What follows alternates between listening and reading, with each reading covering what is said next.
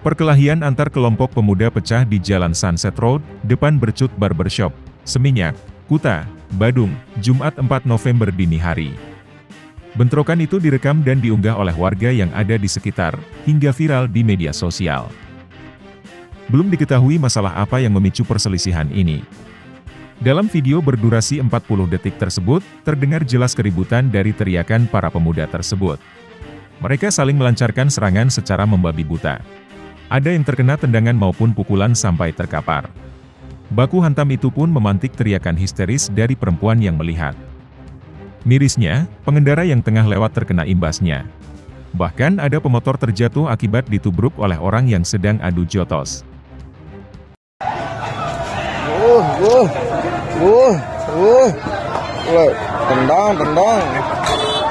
Uh, uh.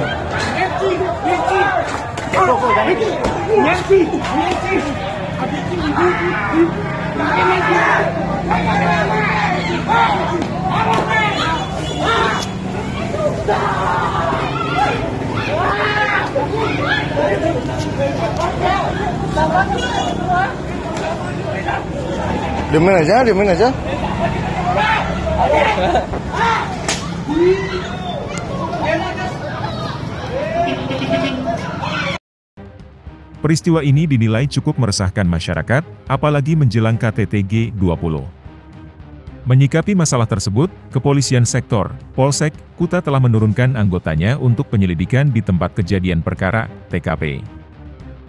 Kapolsek Kuta AKP Yogie Pramagita saat dikonfirmasi mengatakan, laporan resmi belum ada, tetapi anggotanya sudah ke lapangan untuk penyelidikan.